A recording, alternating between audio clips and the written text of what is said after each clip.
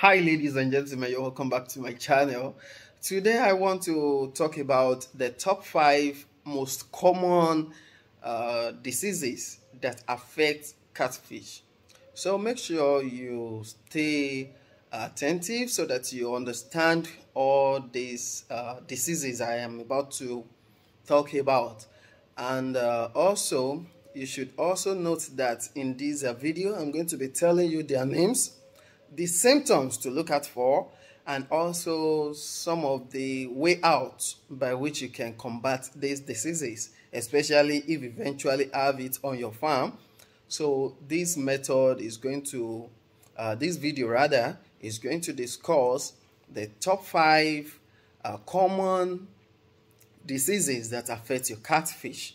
So make sure you subscribe to my channel if you have not subscribed to my channel and also leave a like on this video if you derive value from watching it.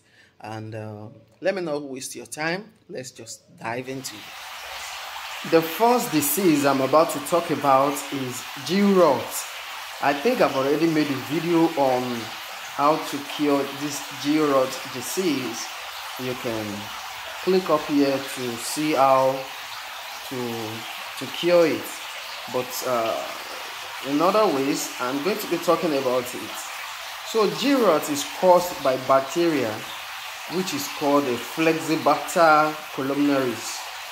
It affects different level of catfish just like the ones you can see this is gill rot that affected them. Can you see them? Some have died but i've already administered the medication to them and that is why this water is like this this is more or less like a cured water for them.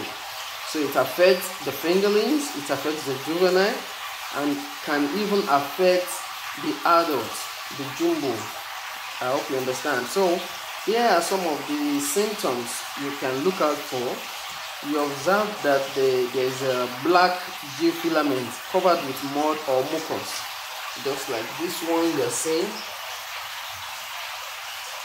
then the G ossiferates drip off. There's going to be inflammation and hyperemia inside the upper cooler. Those ones are big words. You don't eventually know that, but just take a look at this. They are suffering from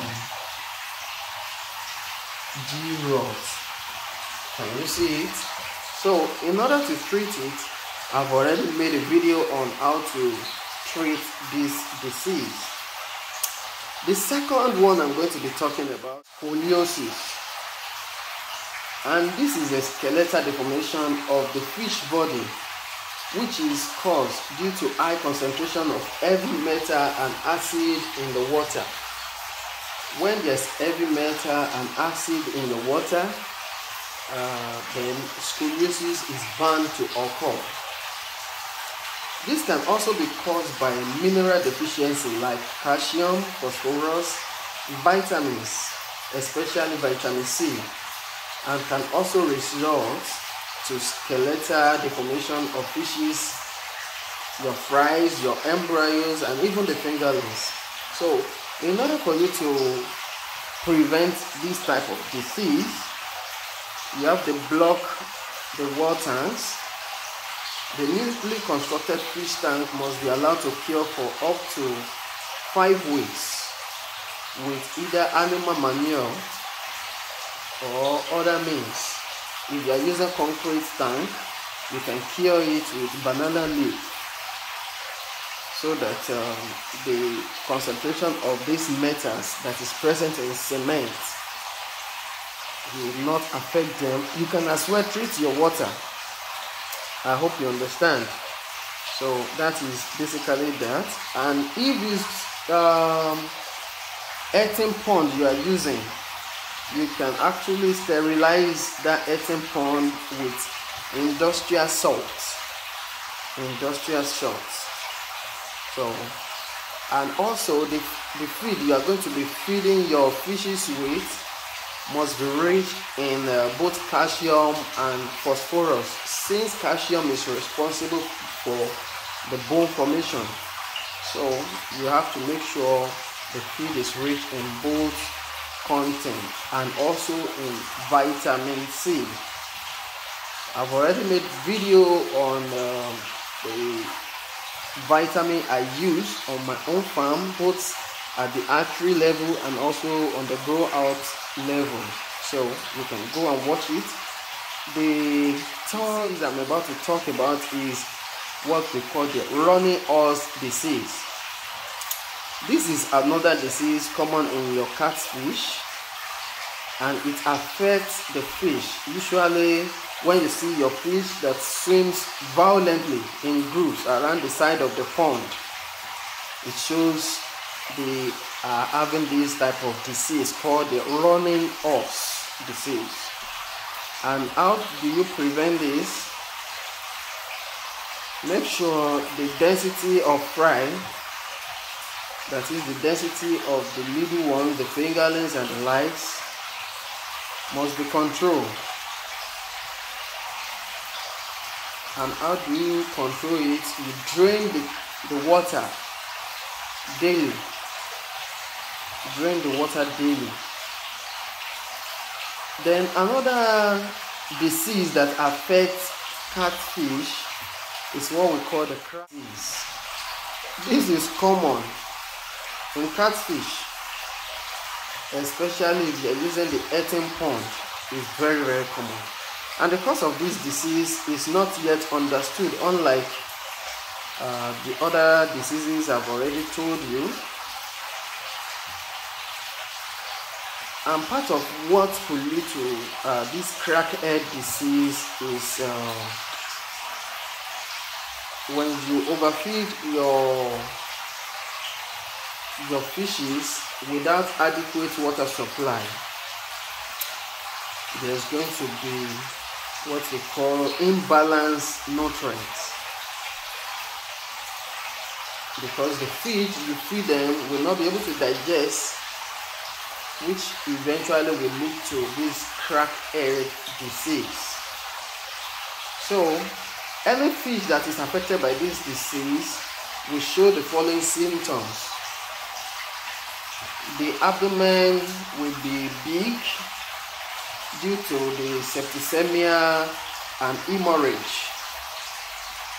That is one of the, uh, what do we call it? One of the symptoms. Another uh, symptom is that their eyes will pop out. Their eyes will pop out.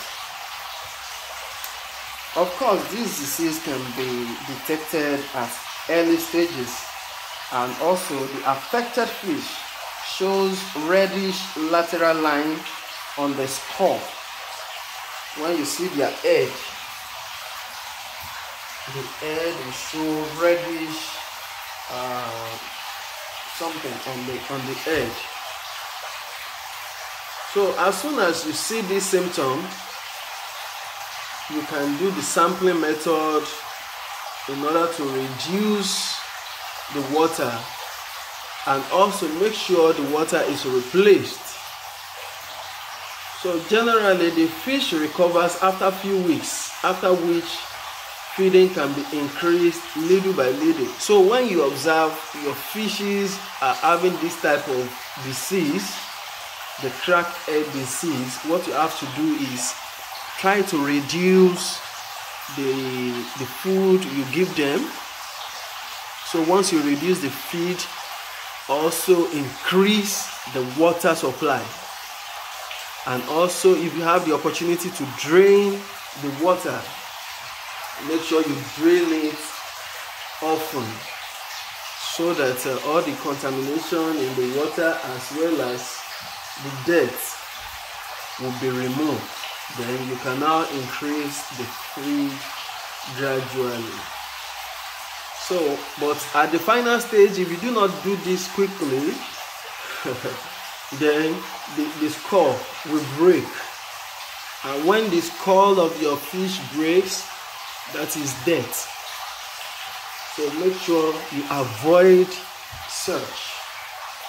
Make sure you avoid such. As you can see, what these ones are suffering from is not cracked egg. It's actually what we call the G rot and administer the medication. So basically what I am talking about today, I'm reading it from uh, my other gadgets. It's not a, a write-up from me. I'm only trying to explain it. So in case you you feel bored, I'm so sorry, but I just have to bring this to your notice so that you watch out for it. I hope you understand. So guys, that is basically what I want to show you on the, the common disease that affects catfish. And another one is the uh, gas bubble disease. This is caused by oxygen saturation in the water, resulting to rapid increase in algal photosynthesis. Small bubbles accumulate on the fish, intestines, skin, and filaments, causing the fishes to float. And how do you prevent this? You, you prevent it by adding fresh water and um, also avoid this gas uh, bubbling. Avoid it. So when you see something like that you can actually add salt industrial salt or even the table salt. You can add it depending on the quantity or the the how, how big your pond is. If you are using something like this you can actually use table salt but if you are using the earthen pond industrial salt will be suitable. So okay i think i have one last one here which is uh, anemia disease. Affected fishes are black with big head and small bodies just like kwashiorkor when they are poorly malnourished.